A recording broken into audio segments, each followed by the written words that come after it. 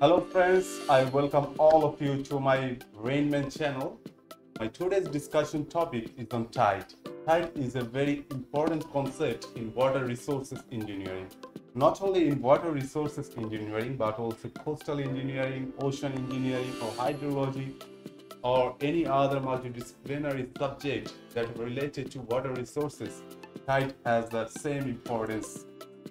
So tide is very important terminology in water resources to know about. In today's video, I'm gonna talk about how tide forms, how tide generates in the oceans, and how it affects the estuary or river, and uh, how it is related in water resources engineering. So my today's video is all about tide. So without further delay, let's dive into the main topic. At first, let's understand what is tide. Tide is a periodical fluctuation of water level in the coastal area or ocean water or in the tidal river, whatever it is. Basically, the rise of water in the ocean or fall of uh, water level in the ocean causes the rise and fall of water level in the river also. So, tide is a periodical fluctuation of water level due to the gravitational force of uh, sun and moon. Let's understand some basic things about uh, tide. As you see in the screen, this is our sun and this is our earth. This earth is moving around the sun in a elliptical orbit. The moon is uh, moving around our earth. It is also in elliptical orbit in the upper picture as you see. So earth is moving around the sun and the moon is moving around the earth and the whole solar system is moving around the, our galaxy. I'm not going into that part.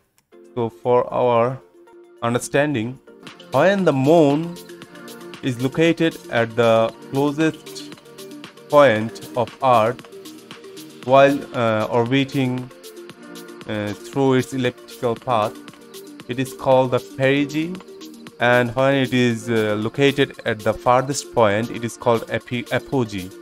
And in case of earth and sun when it is located at the nearest point it is called perihelion and it occurs at january month uh, and january 2 and uh, when it is on the farthest point the earth uh, with respect to the sun aphelion occurs at 2nd july. And there are three types of uh, tide one is diurnal and another one is semi-diurnal and, and the last one is mixed diurnal.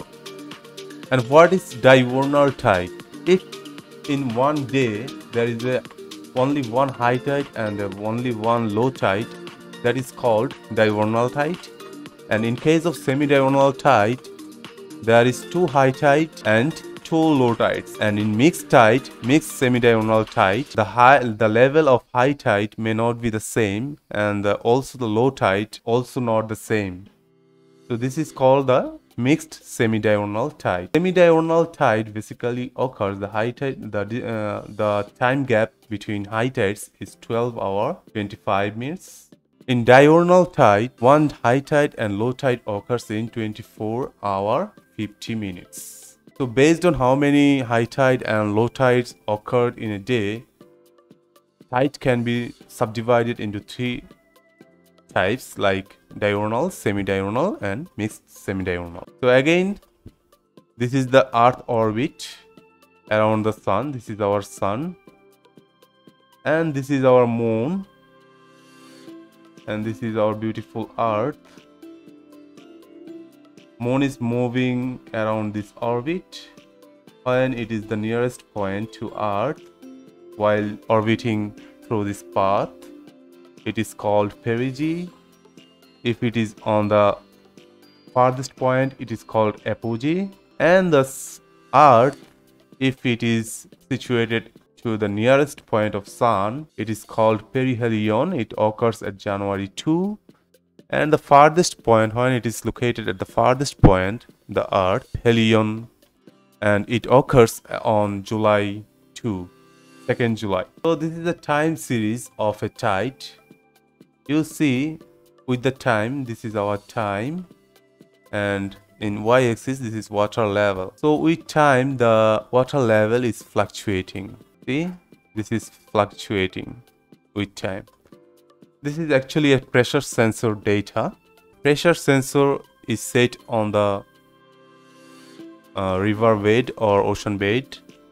Actually, it measures the pressure uh, above the water and then it is the converted uh, to depth of water as the pressure increases with the increase of uh, water depth so it is related to the water depth so if we can measure the pressure we can also measure the depth of water. That's how actually pressure sensor works. So in a month this is this portion is spring tide this is also spring tide and this is neap tide and this is neap tide so in a month two spring tides occur and two neap tides occur if the tidal range is small then it's called neap tide and the tidal range when tidal range is higher it is called the spring tide. So what is tidal range? Let's say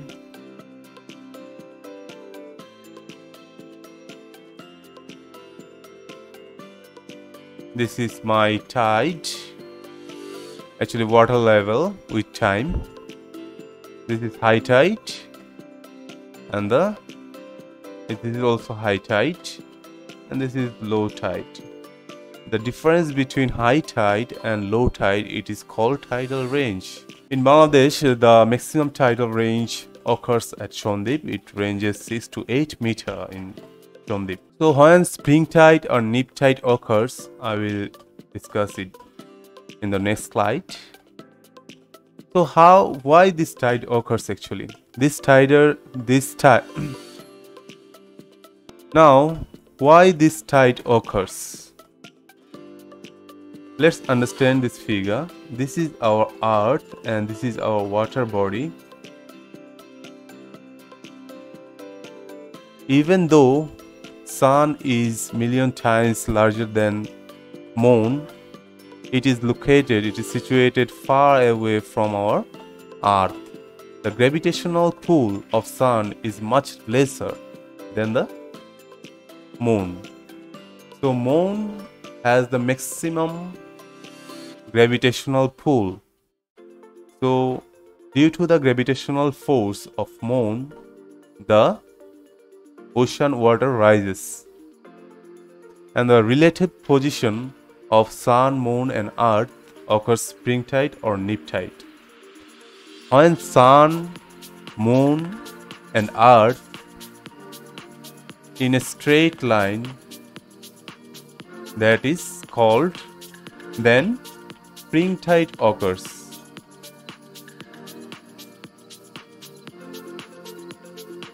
If the relative position of sun and the earth and the moon is 90 degrees. See this is 90 degree if this situation occurs then neap tide occurs. Then the gravitational pull become minimum so the tidal range becomes minimum. And when, when the uh, sun moon and earth located in a straight line then the gravitational pull becomes the maximum. So spring tide occurs. So that's how actually spring tide and neap tide occurs in the ocean. And why this tide occurs?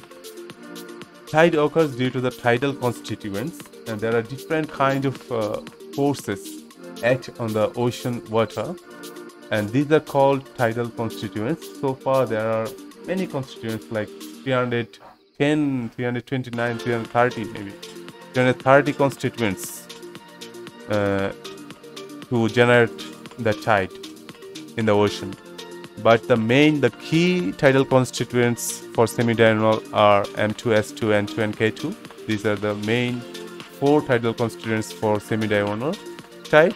And diurnal tide, there are other, uh, there are these are the key constituents K1, O1, P1, Q1, MF, and M, mm and ssa so if you know the water level in the coastal area or in the tidal river you can get the tidal constituents as well. Or if you know the tidal constituents of any particular area you can generate the water level at the same time.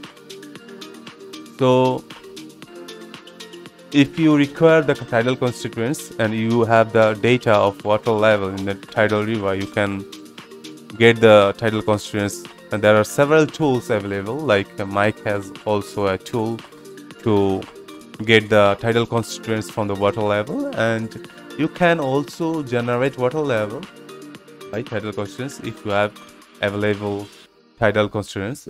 so that's how tide works in the tidal plane. So let's uh, watch a video.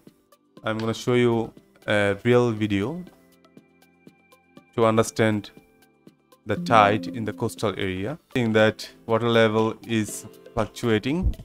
It is rising and it's falling with time. This is due to the tide. So the maximum water level and the minimum water level. The difference between maximum water level and the minimum uh, water level is called tidal range as i told you earlier. So that's how actually tide works.